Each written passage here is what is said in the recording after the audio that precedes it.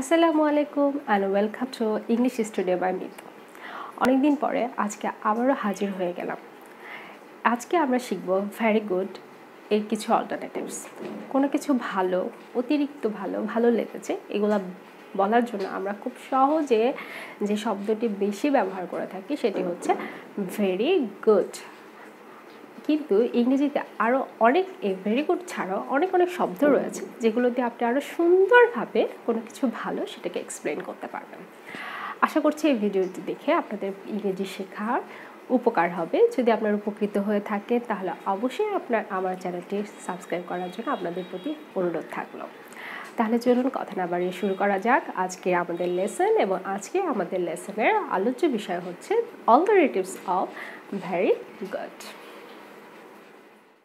খুব ভালো।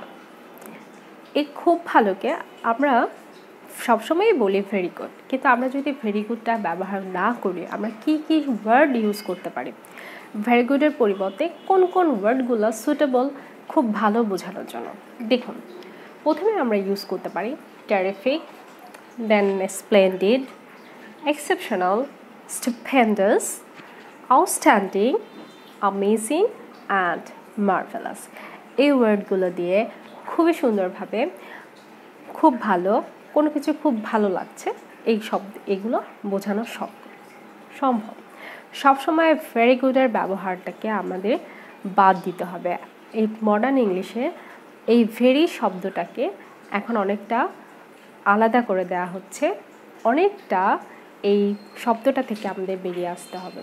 এর পরিবর্তে আমরা খুব সুন্দর সুন্দর ওয়ার্ডগুলো ব্যবহার করতে পারি এবং এই সুন্দর সুন্দর ওয়ার্ডগুলো ব্যবহারের মাধ্যমে আমরা আমাদের ইংলিশ ভোকাবুলারিটিকে আরও বেশি এনরিচ করতে পারি।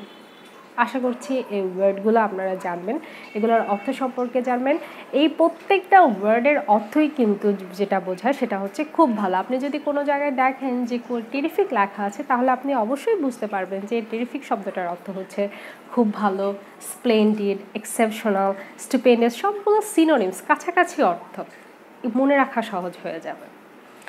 আশা করছি ভিডিওটি ভালো লেগেছে। যদি ভালো লেগে থাকে, আপনাদের প্রতি অনুরোধ থাকল আমার চ্যানেলটি সাবস্ক্রাইব করার এবং লাইক, কমেন্ট, শেয়ারের মাধ্যমে আমাকে আরও বেশি এনকারেজ করা। ধন্যবাদ আপনাদের মূল্যবান সময় দিয়ে আমার এই ভিডিওটি দেখার জন্য। আসসালামু আলাইকুম, সবাই ভালো থাকুন, সুস্থ থাকুন।